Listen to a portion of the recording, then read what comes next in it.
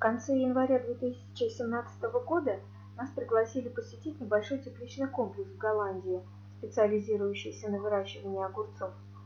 Обратите внимание, над центральной дорожкой подвешена желоба, в которой высажены растения. Таким образом решена необходимость затемнения дорожки. И кроме того, посмотрите, как много созрело плодов.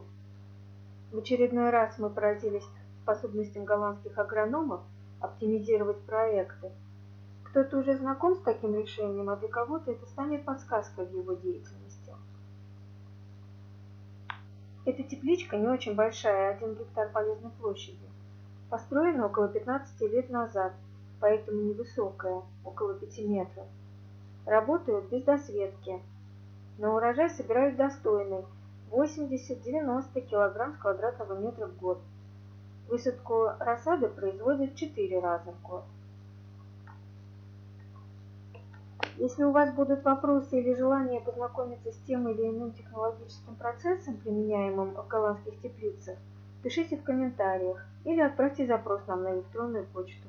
Мы постараемся отснять подробное видео и поделимся с вами полезным материалом.